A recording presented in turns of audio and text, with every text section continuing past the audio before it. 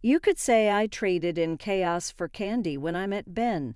My days used to be filled with managing disasters and cleaning up corporate messes, but then love swept in, and before I knew it, I was knee deep in sugar and spice and everything nice at Sugar Haven, Ben's family candy store.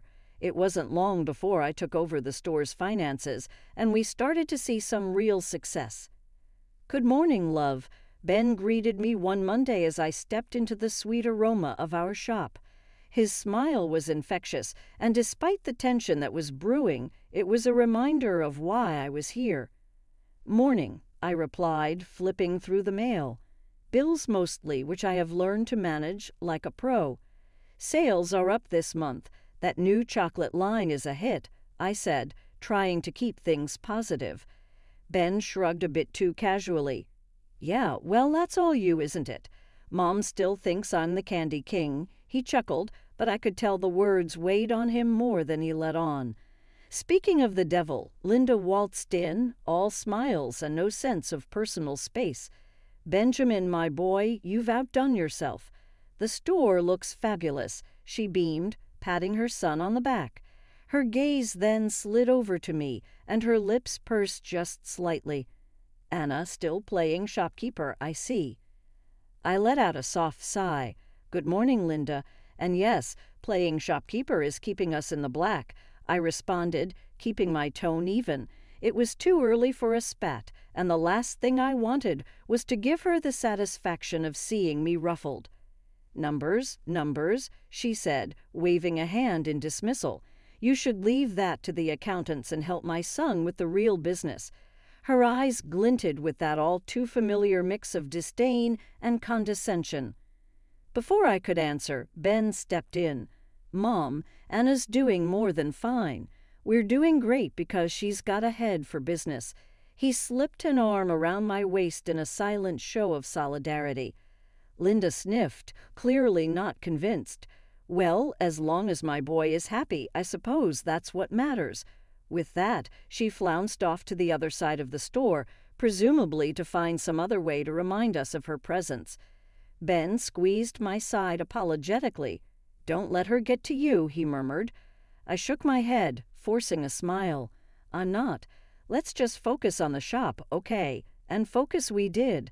With each day, Sugar Haven became more than just a candy store. It was our little piece of paradise. At least, that's what I thought until everything began to crumble. I started noticing the changes when the deliveries got more frequent and they weren't full of sugar or spice but things that had price tags that made my stomach drop. Another package, Ben? I asked one evening as I locked up the register. I held up a sleek gadget still in its shiny packaging. It looked expensive. Oh, that's the new phone I ordered, Ben said with a grin as he cut open the box like a kid on Christmas. Top of the line.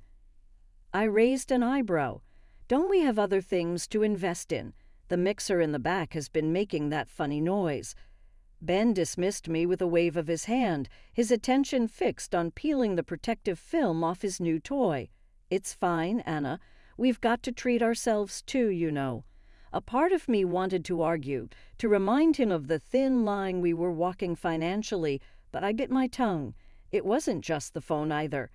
Linda had taken to showing off new outfits every other week, parading through Sugar Haven like it was her personal runway.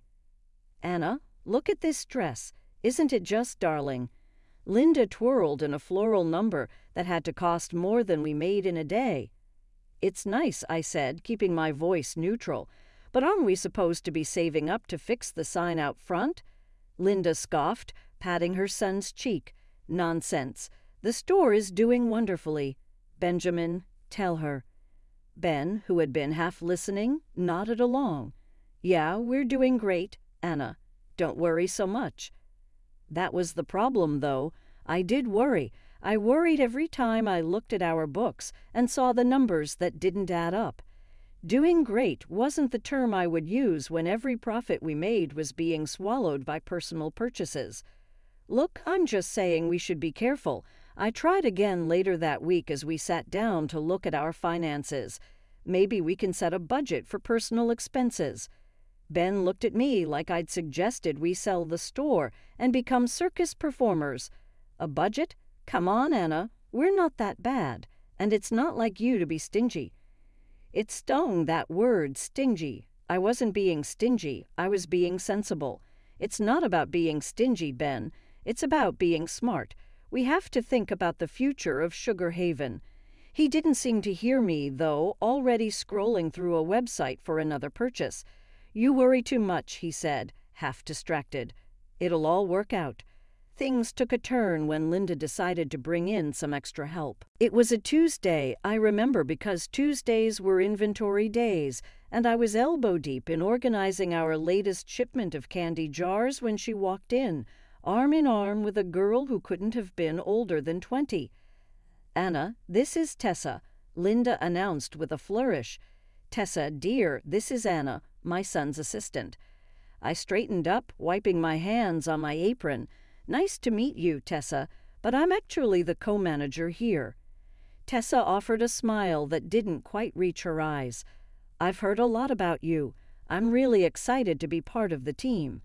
I glanced at Linda, whose smug look was enough to tell me she hadn't consulted Ben about this new development. What exactly will Tessa be assisting with? I asked, trying to keep my tone friendly. Oh, she's going to be helping out with the business side of things. You can only do so much, after all, Linda said with a dismissive glance at my inventory list. I nodded, still a bit confused. All right, well, we have a system here, so I'll have to bring her up to speed. It didn't take long for me to see that Tessa's version of helping out was more about hovering and less about doing actual work. When I saw the salary Ben's mother had set for her, I nearly choked. Ben, can we talk? I cornered him later that day in the office. Sure, what's up? he asked, not looking up from his computer. It's about Tessa. Her salary is, it's more than what we can afford for the role she's in. Ben finally looked up, his brow furrowing. Mom said it was fine. She thinks Tessa's going to bring a lot to the table. I sighed, feeling like I was talking to a wall. We agreed to discuss new hires together, especially when it comes to how much we're paying them. He shrugged, that annoyingly dismissive gesture becoming more frequent. What's done is done. Mom has a good feeling about her. I had to bite back a retort. Good feelings didn't balance books. I left the office feeling like I was the only one seeing the red flags, while Ben and his mother were content to parade around with blindfolds. I've always been the kind to check twice, maybe three times, especially when it comes to numbers. So when I stumbled upon an envelope stuffed in the back of a filing cabinet while hunting for a misplaced invoice, my first thought was that it was just another forgotten bill. But as I flipped through the papers, my heart started to race, not from excitement, but from cold, hard dread. It was a loan document with Sugar Haven listed as collateral, and the amount was far more than what would ever be considered reasonable for our modest shop. Ben, I said, walking into his cluttered office, papers in hand, what is this? He glanced up, and I saw his eyes flicker, the first sign of guilt I'd seen in him in months. Oh, that. It's nothing. Just a small loan I took out to cover, you know, store improvements. Store improvements, I echoed, incredulous. This amount could renovate the store five times over. What did you really use it for? There was a pause long enough for the truth to wedge itself between us. Okay, look, he started, and I could tell he was choosing his words carefully. I might have used some of it for the house, the one I've been working on for us. For us, I repeated, my voice sharp with disbelief, or for your gadgets and whatever else you've been blowing money on. He stood up then, his chair scraping back with a sound that felt like a gavel on my patience. It's not like that, Anna. You don't understand. This is all going to pay off in the end. I shook my head. No, Ben. Taking out a loan against the store without telling me that's what I don't understand. How could you be so reckless? Before he could answer, Linda bustled in, her nose wrinkling as she saw the papers in my hand. What's all this about? she demanded. Ben tried to explain, but I cut him off, thrusting the loan papers at her. Did you know about this? She barely glanced at the documents before waving them off. Of course I did. Ben's just doing what's necessary for our future. And who are you to question him? You're just the help, after all. The words stung, but more than that, they fueled a fire in me. Just the help? I said, my voice low but firm. I've been keeping the store afloat while you two have been treating it like your personal bank account. Ben's face had gone pale, and Linda looked like she was about to spit fire. You ungrateful little. No, I interrupted, my calm surprising even myself. What's ungrateful is not recognizing the hard work someone's been putting into this business. What's foolish is risking everything for a house that we don't even need. I waited for them to say something to defend themselves, but all they did was stare at me, caught in the act. I left the room then, the documents clutched in my hand like a verdict yet to be delivered. The kitchen table was never really meant for business meetings, but that day it was surrounded by the most solemn faces, as if we were about to discuss matters of state instead of the confectionery. Ben cleared his throat, his eyes not quite meeting mine. We need to talk about the store's future. I sat down, folding my hands on the table. We already did that when I found the loan documents. Linda huffed from across the table, her arms crossed. We need to be realistic, Anna. The store isn't pulling in enough to cover the debts. We have to find money somewhere. There it was, the we that really meant me. I kept my voice steady. What do you suggest? Her eyes gleamed with a kind of cold calculation. You have that inheritance from your parents. It could cover the debts and get the store back on its feet. I felt like I was listening to a stranger, not the woman whose son I had married. You want me to use my parents' money, the money they left for me, for my future? Ben finally spoke up. It's not like you're doing anything else with it. That money was meant for me, for my security, I said, the disbelief clear in my voice. And what about our security? Linda shot back. You're part of this family now, aren't you? I looked between them, my heart sinking. I am, but it seems you only remember that when you need something from me. Ben shifted uncomfortably. It's not like that. But we're drowning here, Anna. So you expect me to just hand over my future, just like that? I asked. Linda leaned forward. If you care about this family, yes. I thought of the long hours, the sleepless nights, the sacrifices I had made for the store. If I do this, if I invest my inheritance, I want a third of the store. I want to be an official co owner. The room fell silent. Then Linda laughed, a harsh sound that bounced off the walls. You, co owner? Don't be ridiculous. You're not business material. I stood up, my chair scraping loudly against the floor. Then you find another way to cover your debts because my inheritance is not your emergency fund. Ben's face was unreadable, but Linda's was red with anger. You'd let this family business go under. I've tried to save it, I said, my voice quiet but firm. But I won't set myself on fire to keep you warm. I wasn't one for late night visits to the shop, but something in my gut told me to go to Sugar Haven that evening. The place was dark, which was expected, but the faint glow of a light from the back office wasn't. I pushed the door open, the familiar tinkle of the bell sounding almost ominous in the silence. The sweet scent of confectionery that usually comforted me now felt heavy, loaded with the scent of betrayal. As I walked towards the back, the murmurs from the office grew clearer. Then I saw them through the partly open door, Ben with his arms around the new assistant, Tessa, who giggled at something he whispered in her ear. I pushed the door open fully, and they sprang apart, their expressions turning from shock to guilt within seconds. Anna, Ben stammered, straightening his shirt. What are you? It's not what it looks like. I crossed my arms, feeling a cold calm settle over me. Really? Because it looks like I just caught my husband with his arms around another woman. Tessa was smoothing her hair back, looking anywhere but at me. We were just going over inventory. At midnight, with the inventory in your arms, I said, my tone dry. Ben's eyes were pleading now. Anna, please, you're blowing this out of proportion. I laughed, short and humorless. Am I? Because from where I'm standing, it looks pretty clear to me. He took a step towards me, and I held up a hand. Save it, Ben. I don't know what's worse, the cheating or the pathetic lies. Tessa finally spoke up, her voice small. I'm sorry, Anna. I didn't mean for any of this to happen. I looked at her, really looked at her, young, naive, and caught in the web of a man who couldn't take responsibility for his actions. You should be, and you should also be looking for another job. Ben's protest was immediate. You can't fire her for this. I turned to him, my resolve steeling. I can and I will, and I'll be looking for a good lawyer in the morning. His face paled. Anna, please, let's talk about this. There's nothing to talk about, I said, cutting him off. You've made your choices. Now you get to live with them. I didn't wait for his response. I walked out of there with my head held high, the sound of Ben calling after me fading into the background.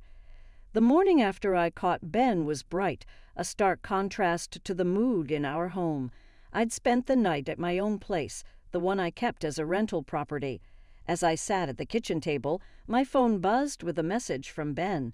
I considered not even reading it, but curiosity got the better of me. It was a photo of a bank letter addressed to Ben, the words final notice and immediate repayment required standing out.